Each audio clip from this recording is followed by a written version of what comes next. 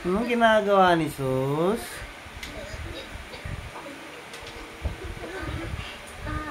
Susi. Aay that Balmon. Si Aay Balmon po. Ito. Ito si Zeus.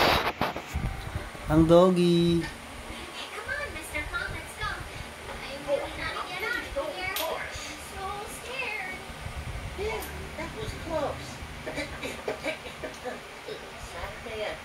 When the sun is the hottest, she wants to be that daylight.